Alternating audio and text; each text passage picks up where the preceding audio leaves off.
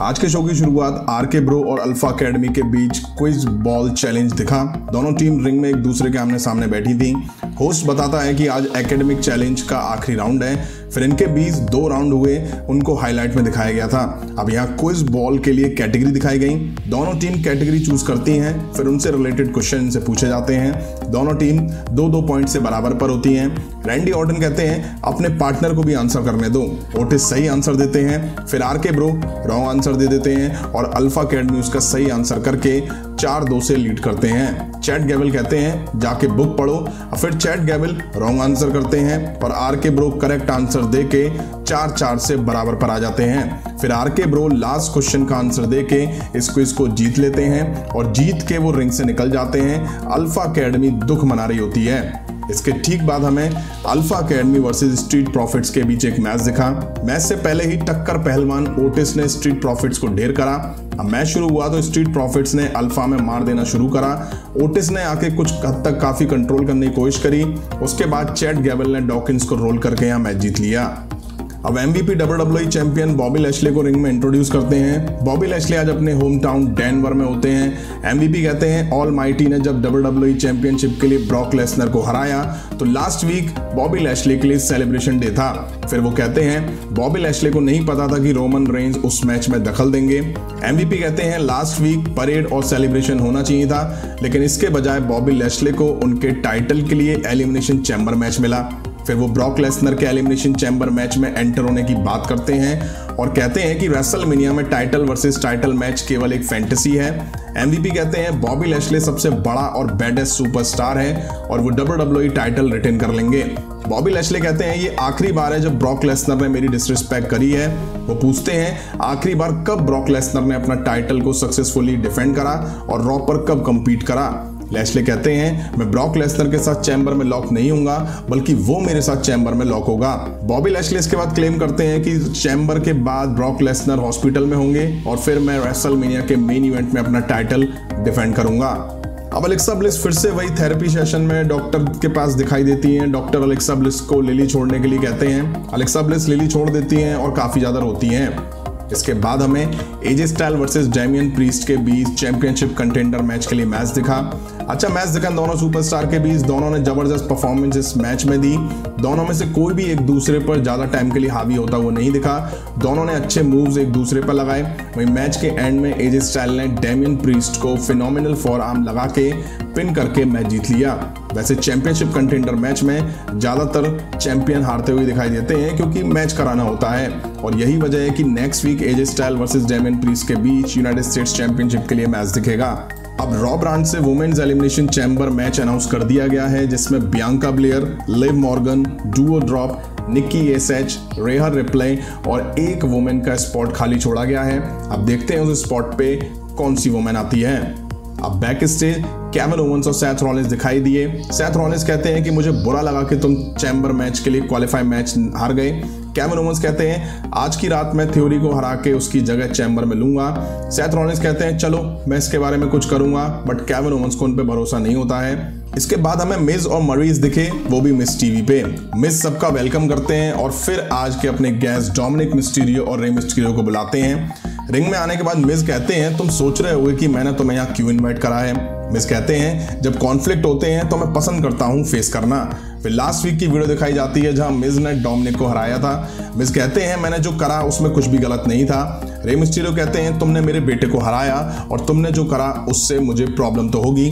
Miss कहते हैं, क्या तुम मुझे चीटर बुला रहे हो? फिर वो क्राउड से पूछते हैं, क्या मैं चीटर हूँ? क्राउड यस यस चिल्ला रही होती है। मिस हाथ ऊपर करके बोलते हैं, तुम सब जानते हो इसका मतलब क्या है? My hands go up your mouth go shut तुम चीटिंग देखना चाहते हो? रॉयल रंबल में बीत फोनिक्स ने मेरे पंच मारे। किक्स मारी, तुम सेलिब्रेट करो और मुझे बू मिला और मुझे चीटर बुलाया गया।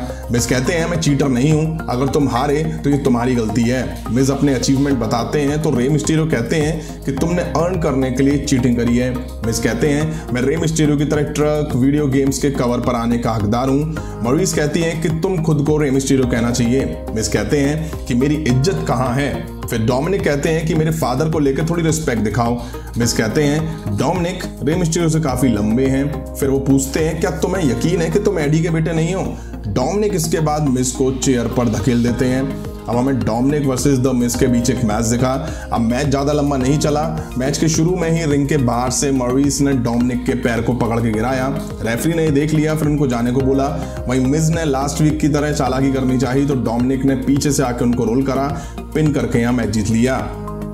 इसके बाद हमें Nikki A S H versus Bianca Belair के बीच मैच दिखा। ठीक ठाक मैच दिखा इन दोनों वुमेन्स के बीच। एंड में बियांका ब्लेयर ने निक्की एस एच को इस मैच में हरा दिया। नेक्स्ट हमें Kevin Owens versus Austin Theory के बीच एक मैच दिखा। बेल बजते ही दोनों ने एक दूसरे पर अटैक करना शुरू करा। कैमन ओवंस काफ़ी एग्रेसिव दिख रहे थे। अच्छा मैच दिखा दोनों सुपरस्टार के बीच। कैमन ओवंस ने काफ़ी इंप्रेस करा। वहीं ऑस्टिन ने कैविन के अच्छे मूव्स को शानदार तरीके से काउंटर भी करा। मैच के एंड में कैमन ओवंस ने सुपर किक और स्टनर लगा के मैच जीत लिया। नेक्स्ट हमें लीता दिखाई दी। वो रिंग में आके कहती है कि मुझे लगा रॉयल रंबल में घर में थी, जहाँ मैंने बियांका ब्लेयर रोंडा राउजी और रेहा रिप्ले से कम्पीट करा बट उनमें एक नाम नहीं था, जो कि है बैकी लिंच का। इसलिए मैं रॉपर आई और उनको चैलेंज करा। तभी बैकी लिंच की एंट्री होती है और कहती हैं कि बड़े होने के नाते मैंने तुम्हारी पूजा करी।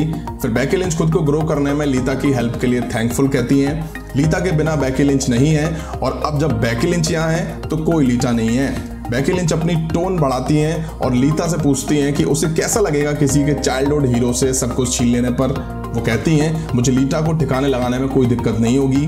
लीटा कहती हैं कि, मैं जानती हूँ कि बैके लिंच को पसंद करते हैं, पर मेरे खिलाफ टाइटल मैच में लोग मेरी हेल्प करेंगे। जब तक फैंस यहाँ हैं, तब तक मैं एक लीटा हूँ। फिर वो फिफ्थ टाइम वर्ल्ड चैंपियन बनने की बात भी करती हैं। इसके बाद लीटा ट्विस्ट ऑफ़ फेट लगाने का ट्राई करती हैं, बट बैके लिंच काउंटर करते हुए उन पर अटैक कर देती हैं। फिर वो मैन हैंडल स्लेम लगाने वाली थी, बट लीटा उसको ट्विस्ट ऑफ़ फेट लगा देती हैं। फिर टॉप रोप से मून सॉल्ट देके बैगी को रिंग से बाहर कर देती हैं। अब backstage Kevin Owens Adam Pearce और सोनिया डेविल के पास दिखाई देते हैं, जहाँ वो ऑस्टिन थ्योरी को हराने के बाद खुद को उनकी जगह चैम्बर मैच में ऐड करने की बात करते हैं। एडम और सोनिया इसकी परमिशन नहीं देते हैं। सोनिया तो ये भी कह देती हैं कि कैविन ओवंस इस साल रेसल में भी नहीं दिखाई देंगे। फिर वो इमोशनल होते हैं और एकदम से बताते हैं कि उन्हें क्यों रेसलमेनिया में शामिल होना है। और स्पेशली जब वो टेक्सास में हो। टेक्सास से उतना ही प्यार करता हूँ जितना कि टेक्सास मुझसे करता है। इसके बाद हमें लिव मॉर्गन वर्सेस डुओ ड्रॉप के बीच एक मैच दिखा। अब ये दोनों एलिमिनेशन चैम्बर में कॉम्पीट करने वाली हैं एक दूसरे के अगेंस्ट अब इस मैच में डुओ ड्रॉप ने अपनी पावर दिखाई और जीत इस मैच में डुओ ड्रॉप की हुई। बैक स्टेज अपने मैच से पहले सैथ रॉलिंस दिखे, वो कहते हैं डब्ल्यू डब्ल्यू में मैंने बहुत कुछ किया है। बस चैंपियन के तौर पर मैंने रेसल मीनिया के मेन इवेंट को हेडलाइन नहीं करा है। बट मैं इसे चैम्बर में बदल दूँगा। फिर वो चैम्बर के अपने सभी अपोनेंट्स को वार्निंग देते हुए नज़र आए। अब हमें रिडल वर्सेस सैथ रॉलिंस के बीच एक मैच दिखा। शुरुआत दोनों के बीच काफ़ी अच्छी रही। दोनों ने एक दूसरे को पनिश करना शुरू करा।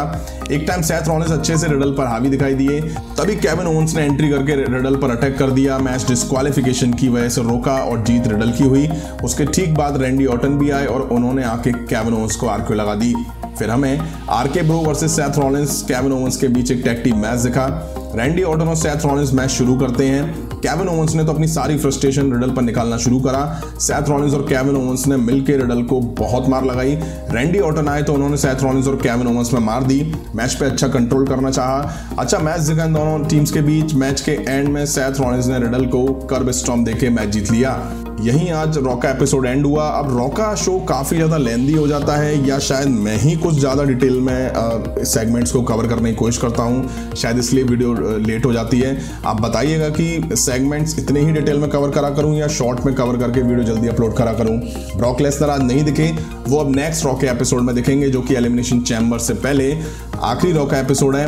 रॉ से अब वुमेन्स और मेंस दो चैम्बर मैच अनाउंस हो चुके हैं। अब वुमेन्स में एक स्पॉट डब्ल्यू डब्ल्यू ने छोड़ा हुआ है। अब वो आस्का हो सकती है या अलेक्सा ब्लिस।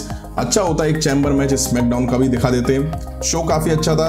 आपको कैसा लगा कमेंट करके ज़रूर बताइएगा। अभी की वीडियो में इतना ही। पसंद आए तो लाइक और शेयर करें। और इस तरह की इंटरेस्टिंग अपडेट्स के लिए चैनल को सब्सक्राइब करें। बेल आइकन को प्रेस करें। मिलता हूँ नेक्स्ट वीडियो में। Thank you